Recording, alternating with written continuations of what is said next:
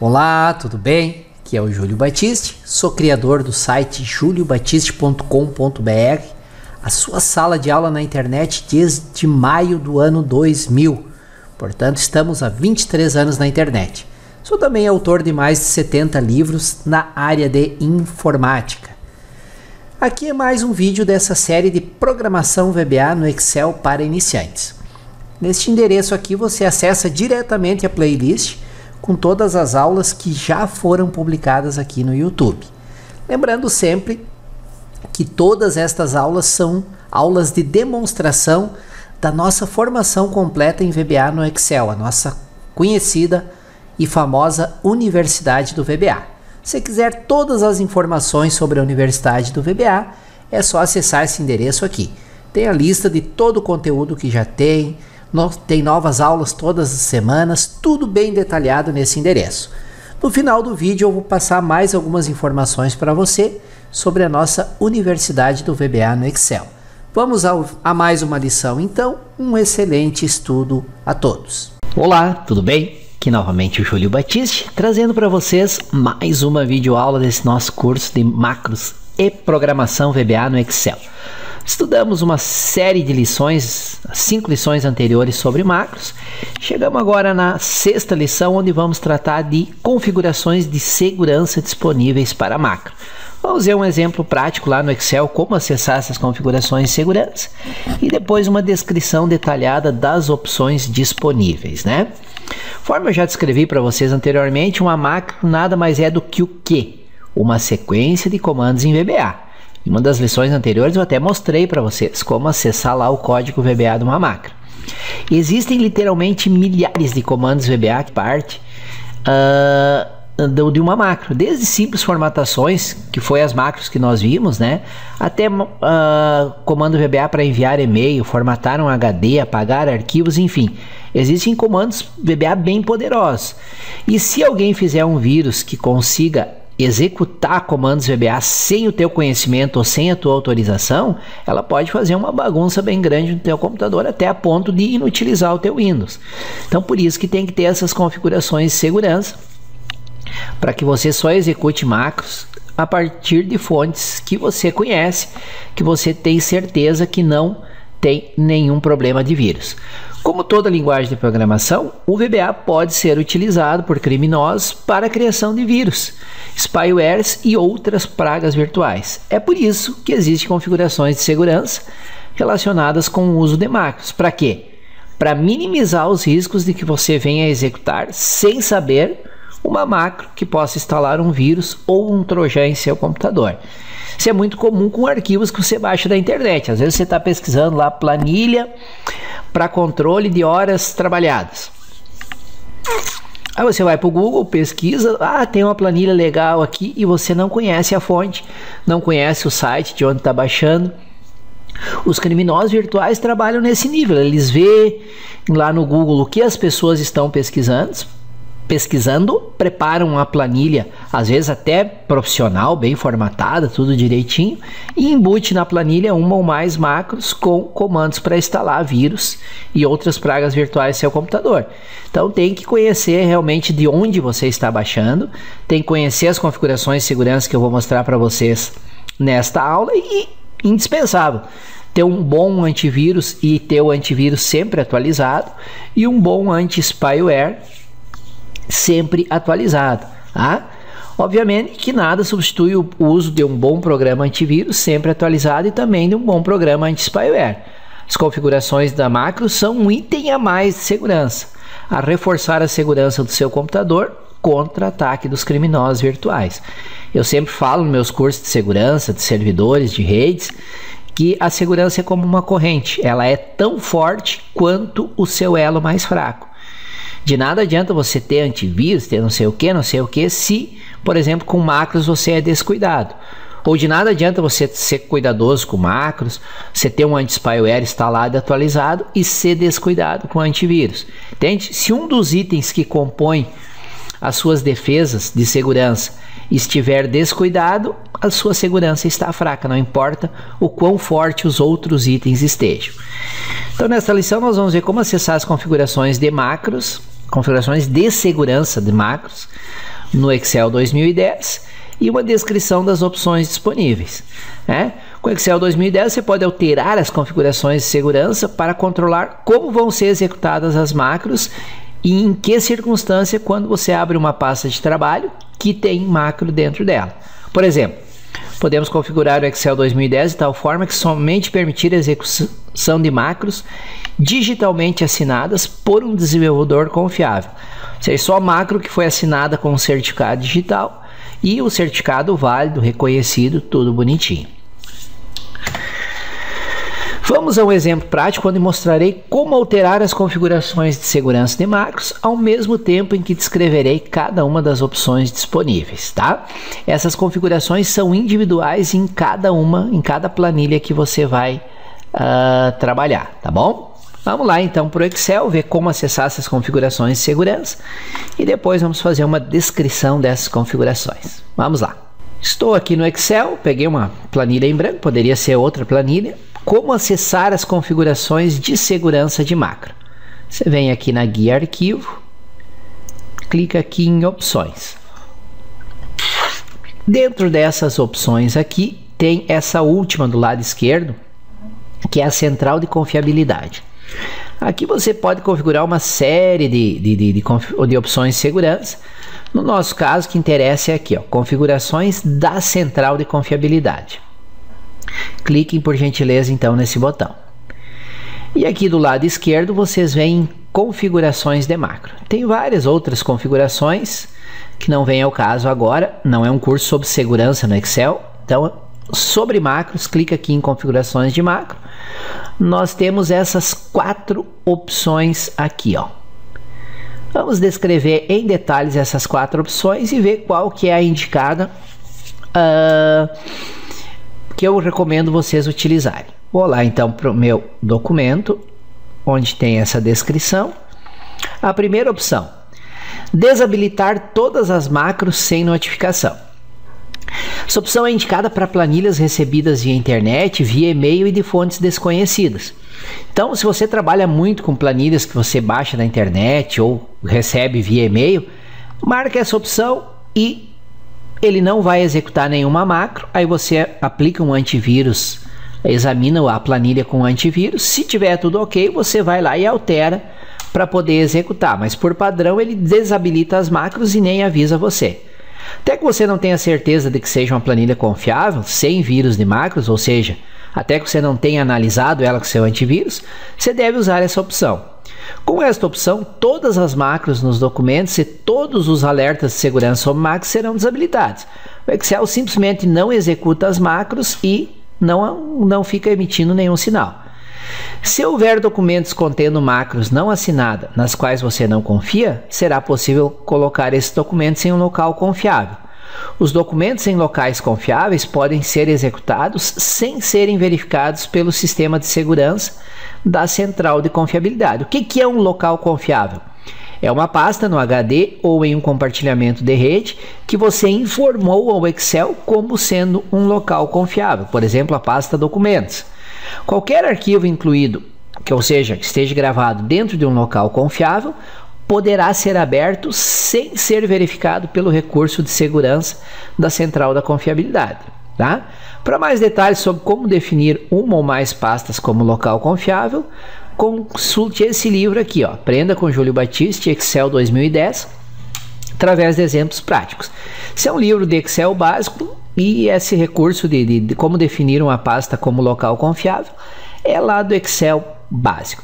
Basicamente, revisando para vocês, a primeira vez que vocês abrem uma pasta de um determinado, uma, uma planilha que está numa pasta que nunca foi utilizada antes, o Excel avisa, diz, ó, oh, essa pasta não é um local confiável, porque você nunca usou antes.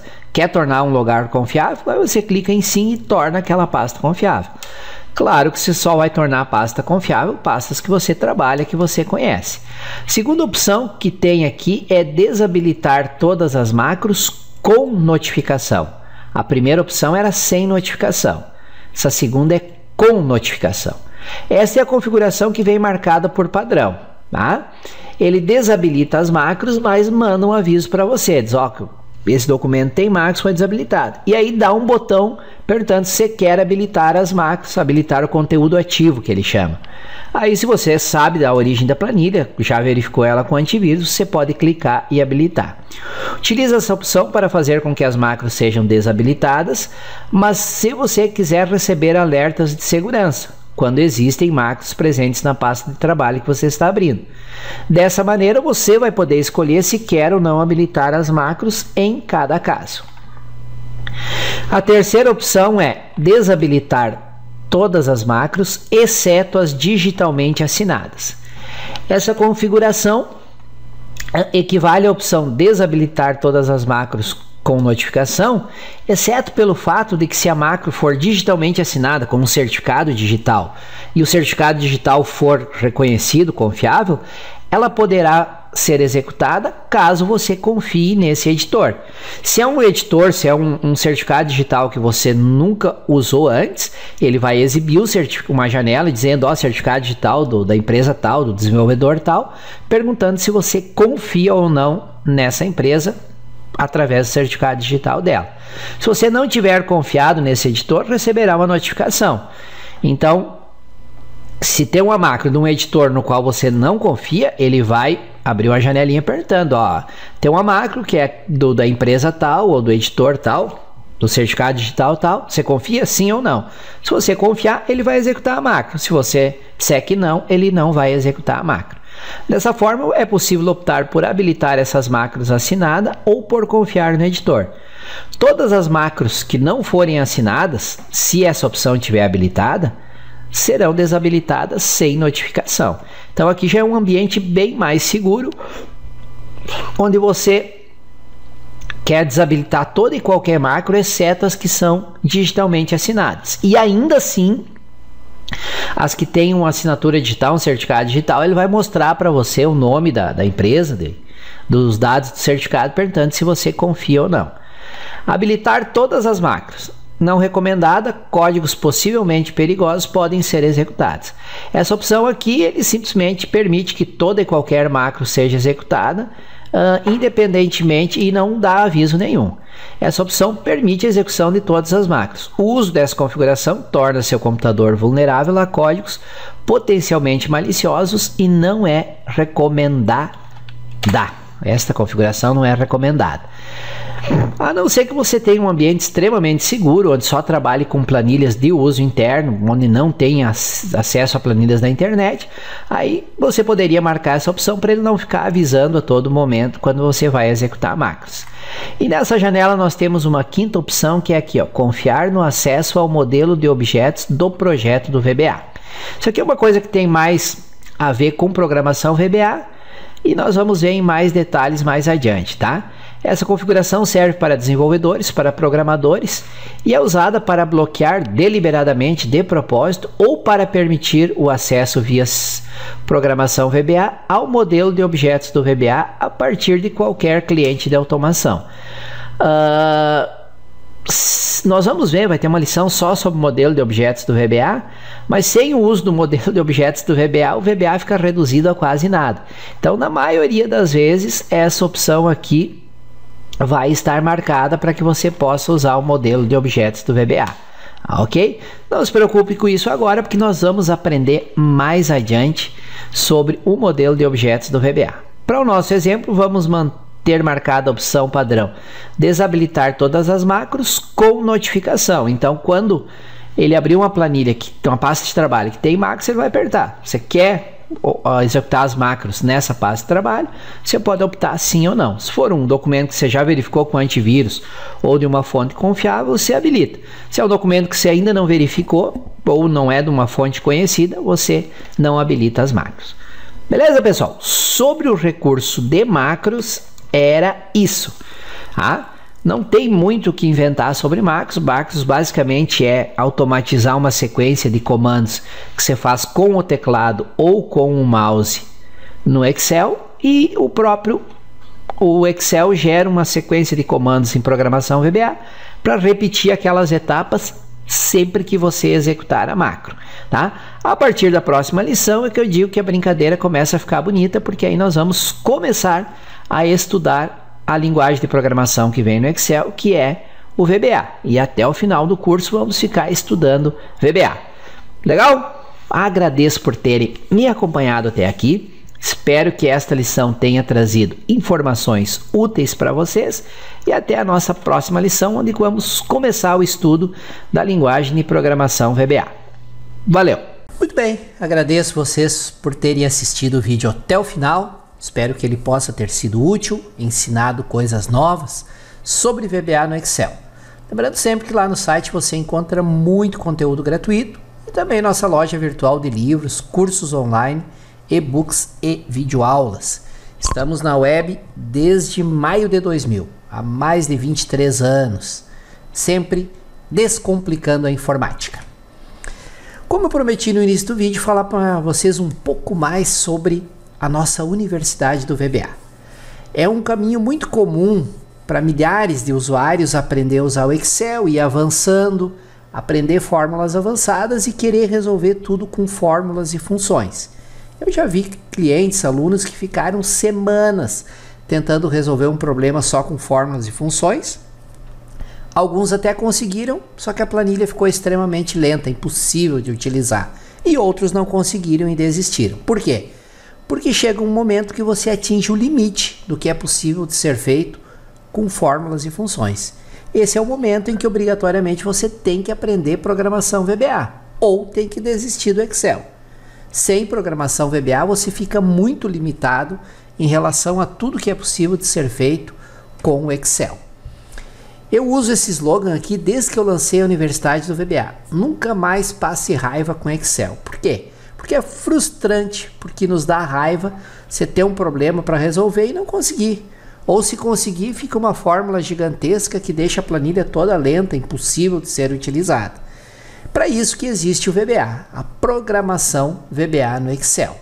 E nesse endereço que vai aparecer aqui e nos próximos slides, vocês têm todos os detalhes, muita informação bem detalhada sobre a nossa Universidade do VBA no Excel.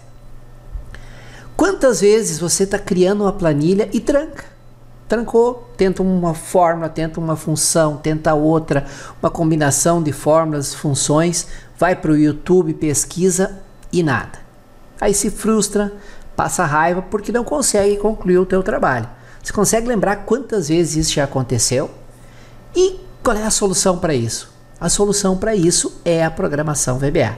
É o próximo nível dentro do Excel. Excel básico, Excel intermediário, Excel avançado. Excel avançado vai até fórmulas e funções. Aí quando se trata de macros e programação VBA, já é um outro nível dentro do Excel. E essa ferramenta, ela permite que você resolva aqueles problemas que você trancou e não conseguiu resolver usando apenas fórmulas e funções, tá? Então, para que você não passe mais raiva, para que você vá para o próximo nível com o Excel, nós criamos a nossa Universidade do VBA. Se você não domina o VBA, você não está usando nem 5% do que é possível fazer com o Excel. Você vai ver que depois de dominar o VBA, como as coisas se tornam mais fáceis dentro do Excel. O VBA é a chave, é o segredo para usar o Excel realmente de maneira profissional. E na nossa universidade do VBA, você vai do não sei nada, não tenho ideia do que é o VBA, até a criação de dezenas de sistemas completos.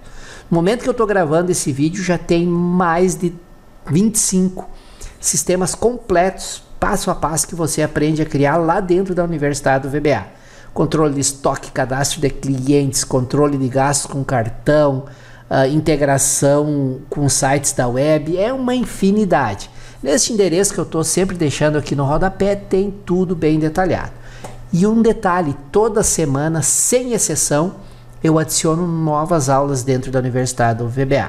Você vai ver nesse endereço, repito, tem todas as informações.